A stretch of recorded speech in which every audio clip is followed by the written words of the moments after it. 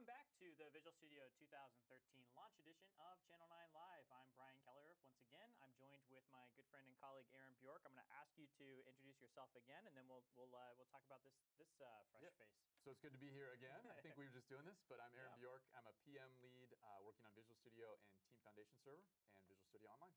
Great. My name is Greg Boer. I'm a program manager also. Work on the all the agile planning tools, work item tracking stuff in, in Team Foundation Server. That's great. Well, let's uh, actually catch up on a little bit of our backlog of questions because since you left us this morning, and we've actually had a lot more questions related to Visual Studio Online. And uh, the first question is, how do you actually migrate? So let's say somebody's doing, you know, on-premises development with Team Foundation Server today, and they want to move to the cloud, or maybe you want to move back later because you realize the cloud's not for you. What's our story there? Yeah, so uh, you're going to start me off with one of those. It's it's on our backlog questions because will. uh, we'd we'd love to have a better import story, uh, but we do have sort of what we call like tip migration. Obviously, you can take your source directly there. You can take work items and um, using our Excel integration, import them directly into uh, the service and do things like that. And then we're working on uh, both import and export um, um, items as well. So those are both on our backlog. We hope to have a great export experience actually in the next few months. Okay, great. And I, I also know um, a third party called OpsHub uh, today released that they, they have integration between Visual Studio Online and on-premises Team Foundation Server, Yep, right? I don't yep. know if there's anything else to Uh, add. to one of our that. Gold partners, check them out. They do a bunch of great stuff in the integration space. so. Fantastic, fantastic. Now, now, Greg, one of the things that we saw in the in the keynote this morning was this new capability called portfolio management. Um, what is portfolio management? How does it build on what we've kind of been using from Team Foundation Server, Agile Planning in the past? How should how should we think about this capability? Sure, yeah. So the way I look at it is in uh, the prior release, we created some good tools for the team to use. Like a team could have their backlog, a team could plan their sprint, a team could use a task board to manage the work. Like a Scrum team would, right? Exactly, Yeah. right? And so, and really what we wanted to provide tools for teams to be autonomous and, and manage their work. But what we didn't have and what we're adding in 2013 is the ability to have visibility above the team. So imagine you have several of these really efficient Scrum teams working. Um, how are they work contributing to a common goal, for example? So we provide a way for you to map the work on a team to a common set of goals, and then you can see, hey, I have this goal, which teams are working with it, what's the progress on it, and so forth. Um, I would say our goal is like teams can continue to work the way they work. They can continue to be autonomous, uh, and then we still get that without sacrificing the visibility up. Right, and so one of the things that um, that I think I found is really important for people to understand is that when you're taking advantage of this portfolio view, you need to have everybody working in the same team project, right? That's What, right. What's your guidance you would give to teams as they start to embrace this model? I would say just exactly that. That's what we do. We have uh, we're a very large organization, um, and we have all of our stuff in one team project, which allows us to have this traceability going up. Um, there are ways to make it work if you're in multiple projects, because we know there are customers that have that. Um, but the best solution is to have everything in one team project for your work item tracking. And then you, you create multiple teams, right? Yes. And those teams get mapped to uh, an individual area path for work items. And, Exactly. and, and on the source control side, I imagine you can permission them for a particular For sure, branch. yeah. Team, teams are the way to do it. You have a team project, you can break it up into teams. Teams get their own backlog. There's actually a security group assigned to the team, which you can then use to do secure other areas of TFS, like source and so forth. So- Okay, and and um, one of the things that we showed in the keynote this morning is how even though you're kind of putting everybody into the same team project, you can still customize parts of what you're doing. What, what what are my options there? Sure. So, like the with the teams, um, it's their hub. We want to make it their collaborative hub. So you get a team room by default with a team. You have a home page of which you can uh, customize and add charts to that home page, which are interesting to the team. You can customize uh, what your Kanban board looks like, for example. So each team has control over their Kanban board. Um, the way Kanban works is that it's uh, you know you, you define what your flow is going to be, and, and that's very personal to the team. So every team can define what what columns appear on their Kanban board, but they still get roll up across the teams as well. Um, a couple other things would be like tagging. We have lightweight tagging with work items where anybody can just add a tag to a work item and then filter by that tag. And eventually, we're going to be adding querying on those tags as well. All right, that's great. And so um, uh, so querying, so the ability for you to go into other views outside of the backlog view and still understand Exactly. how those how those tags work. What about the ability for me to report on things like the the substates that you're creating within Kanban? And that's another one I get I get asked about a lot. Yeah, that's a very good question. Right now, we have these. Um, when you create a column on a board, um, you map that to a state, so it sort of becomes a sub-state uh, um, for that for that specific team. We are working to add the ability to query on that column as well, and also view it on the form. It's not there today, um, but we know people want that. It's an important field to them, so we're going to add that functionality as well. Okay. Here's a great question from Pat. Any plans to provide us with a way for splitting a product backlog item, or I suppose it could be a, a requirement, or you know, really any work item type, into smaller ones when you realize it's too big to be managed by a single team? What, what would you tell teams to do there? Yeah, I don't think uh, it's a great question. and It's a common scenario. Um, it's something that I would we, we put these into some sometimes these categories, and this is one of those things that I think we'd love to go do. We're just trying to take care of some of the other things 1st So we call these uh, small rocks, and they're things that we're trying to find ways we can squeeze them in. It's definitely a, a candidate item. Okay, but I imagine if you wanted to track work that was being done across multiple teams, you could always do that at the feature level, Correct. right? Yeah, And then absolutely. allow the teams to roll up to I think that. that's one of the benefits of the, um, you know, we were talking about the portfolio backlogs, is you get a, a coarser grained backlog essentially, and then you can break that coarser grained backlog into um, appropriate level, whether you're using user stories, PBIs, requirements, we don't care. And um, at the at the finer grain level, then teams can uh, sort of, you know, manage the work as as they see fit, but you still get that roll up up to this this coarser grained item. And out of the box in all of our templates, we included a work item type called feature, um, and that allows you to do that sort of out of the box. Uh, for on premises, you can customize that. You can add additional layers. Uh, internally, we have four layers, for example, on our internal um, Team Foundation server. So we've got scenario at the highest level, then we break those down into experiences, then user stories and tasks. Great. And so that actually, what you just said, plays really well into a question John's asking. So are feature work items available in all team projects? Yeah, Yeah, yeah, all are. team projects and all templates. And so, so if you're upgrading from 2012, where we didn't have the notion of feature, what's your experience look like there? Yeah, if you want to do that, then you can go ahead and run an enablement, uh, which will add feature to an existing team project. Or if you create a new team project, you'll get, uh, of course, the feature work item in the new team project as well. Okay, great. So uh, Raj is asking a question here about migration. So I don't know if you guys can help us with this one, but um, he's asking what the story would be for migrating from TFS 2010 over to 2013. And I wonder if he really means migration or upgrade here. Yeah, so upgrade, I would just say, not a problem. You just Mhm. do it. Um, so we've worked really hard at upgrade to make sure that it's um, sort of non-destructive, non-disruptive, and uh, and it's going to work, and, and and it will. You know, so I think you can go ahead and do the upgrade. Uh, if we're talking about migration, uh, a lot of times people ask questions about migrating between process templates, Mhm. and that's something that we don't have um, sort of turnkey solutions for. We've got partners that help in that space. Uh, you can certainly crack open the work items and do some of the modifications yourself Sure. uh, but you can migrate uh, work as, around that way as well.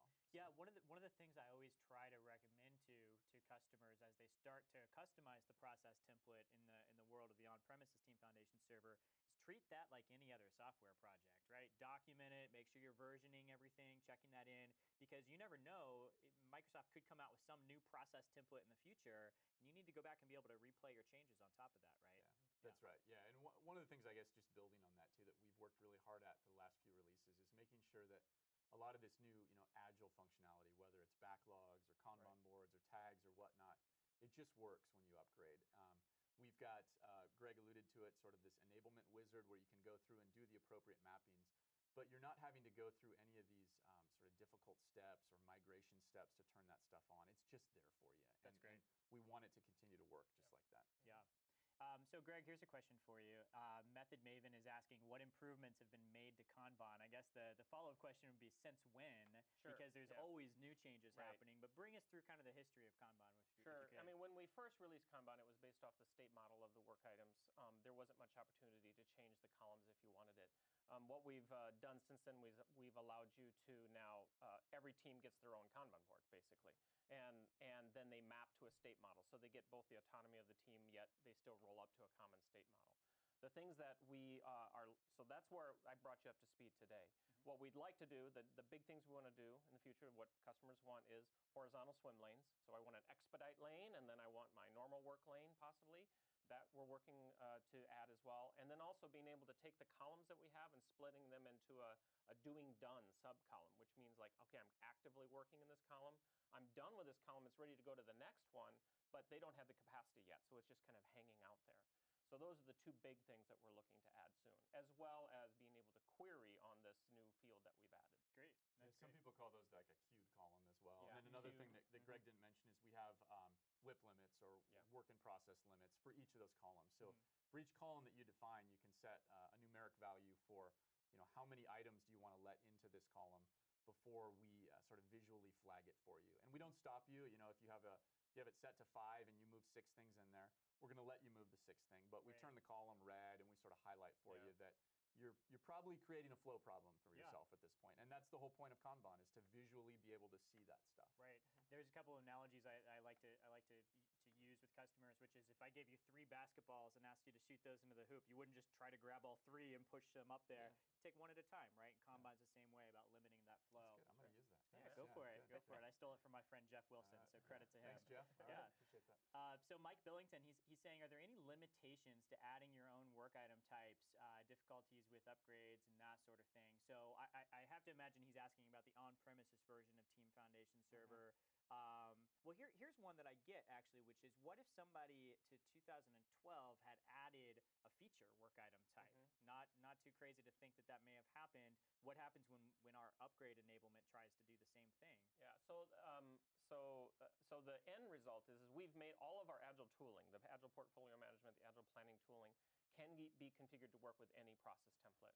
We actually internally we had that exact issue. Is that we had uh, scenario experience and story work items already existed before we before we added the new features to our internal server, and you can go back and wire them up. So if they have a feature work item, they can go back and and and modify the settings to wire up uh, the what we look the feature backlog to their feature work item, and then there it's all there for them.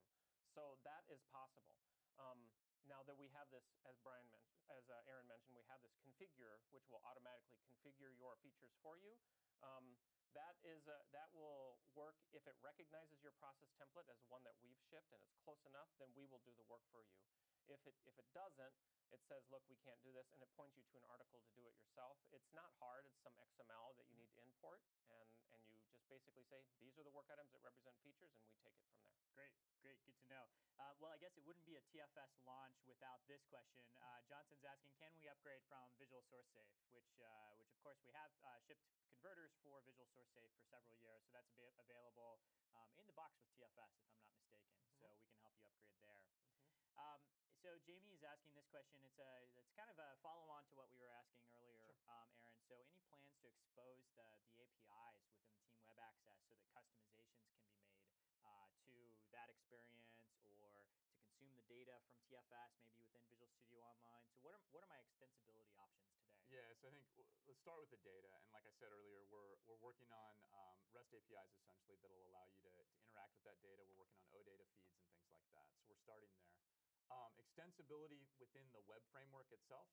Um, you know, we're doing some little bits and pieces there. Um, I don't think I have anything to share in terms of a big plan there yet, but uh, it's something we hear from customers a lot, and we're listening. Um, but we don't have any announcements to make about sort of the web extensibility yet.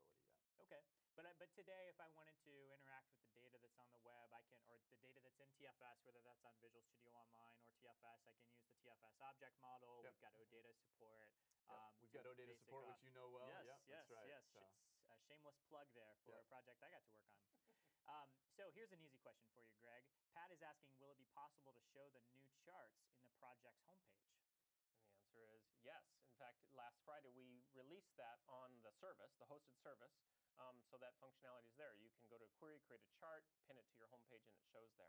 It's not in the on-premise product that we just are launching today, but with in with the next update, it will be there. That's So, yeah. great. And I can also, what, what, what else can I do with those charts? I, I, can create my own dashboard that's available on the web. I can Mm-hmm. easily copy and paste and email those as daily summary. Mhm. Yeah, Anything- those anything charts else? are you can you can take them all you uh, any if you've seen any of the demos, like you can choose any kind of visualizations that you want. Essentially, it's a two-step process. What's the data? And it's just simply uh, building a query to get your data, and then you decide how I want to visualize it and pivot it, like what Nicole was demoing earlier this morning. And then you can just pin it to your homepage, and and you can send links to them. Yeah, quite shareable. That's great. I, I love the customizations you can do to the homepage. It's looking really nice these days.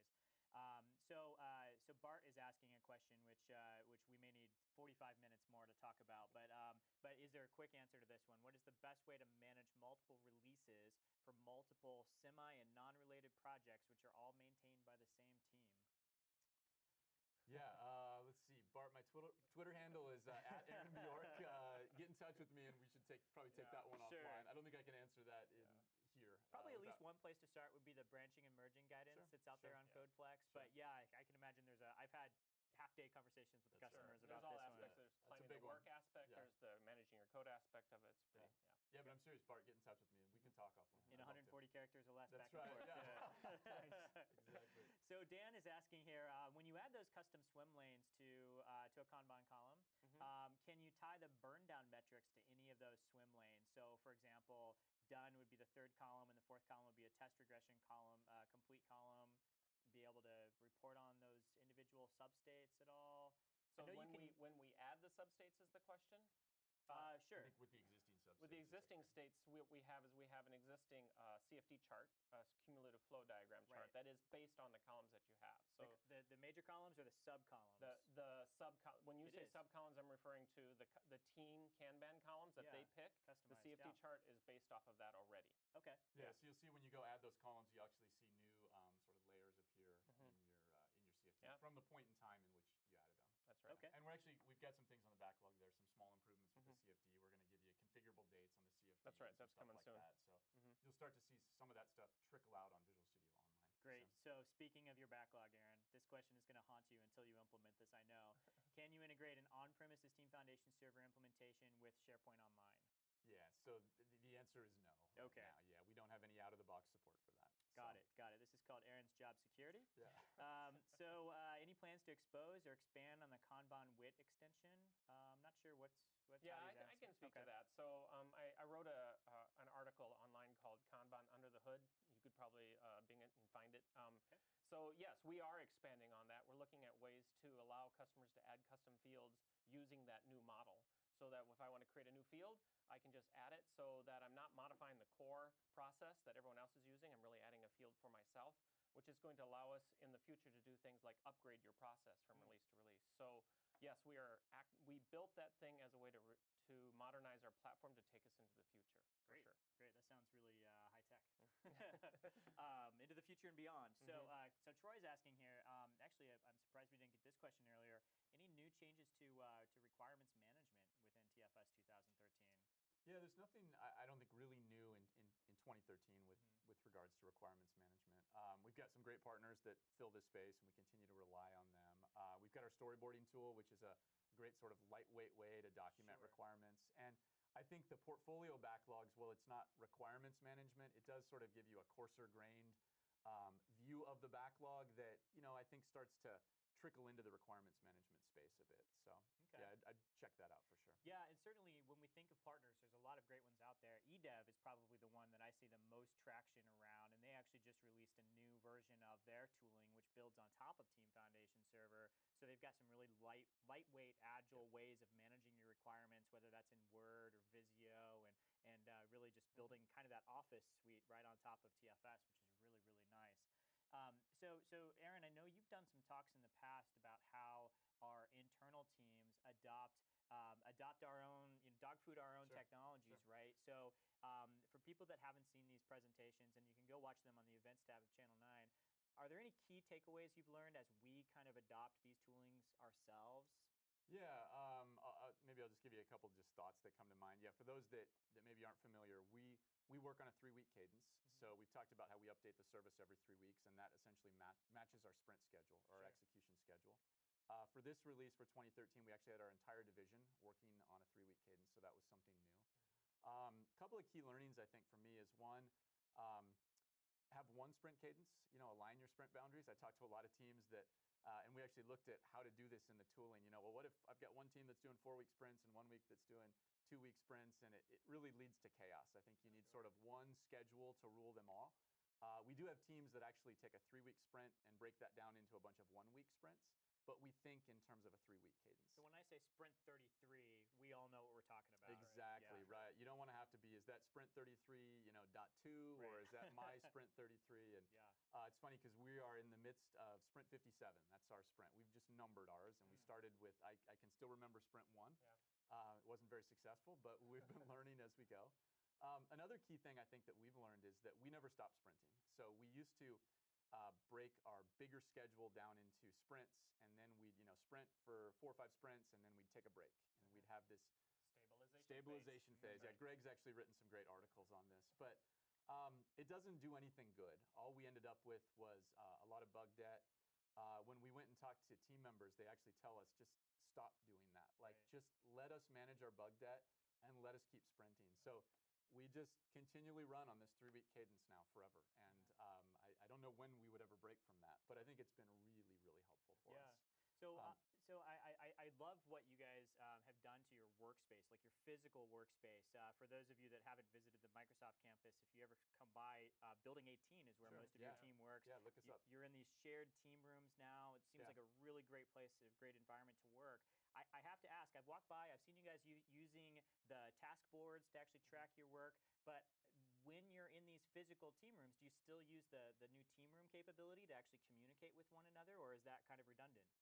Yeah, I I think it depends team to Div team. Some, Yeah, some teams are actually they, they keep it up as like a feed. Every one of the team rooms that we have, they're done very nicely. Actually, have a big screen, 100 inch screen TV, Hmm. and sometimes they'll just leave the team room chat up on that screen, um, and it's just kind of rolling by and stuff, and it becomes a way of just sharing stuff, and it, and it works well. It's a culture thing.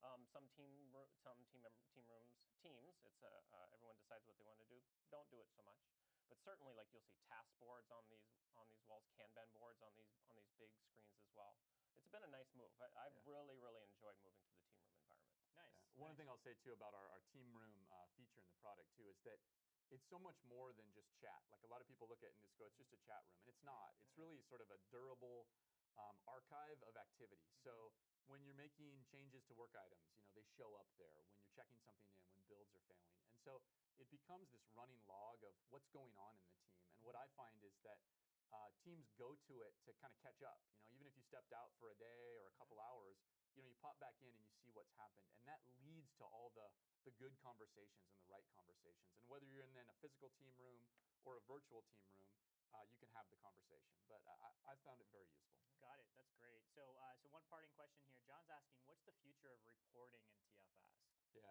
yeah I, I would just say it's going to get better. Okay. So uh, we are, we have, uh, we we know that uh, we haven't sort of turned the dial much in reporting in past releases.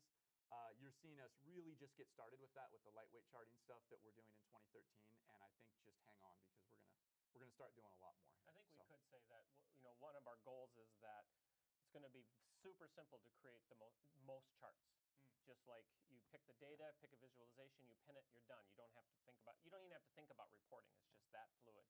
And then we're going to provide a, uh, a powerful way to still get the data that you know do all the kinds of pivoting and everything that you want to do that will still be available also That's But, great. I yeah. mean, I mean that's that's certainly true because there's so much value by having this integrated system within Mhm. ALM. The easier we can make it to get those insights right back out of the Right. system, the better for That's right. everyone. Um, so, Greg, Aaron, thanks for being on the show. I know you guys. Uh, we know you've got a long backlog, so I'm not going to hold you back from it. You can go uh, get back to work. And uh, in just a few minutes, we'll be back on Channel 9 Live with Robert Green talking to the Windows 8.1 development team.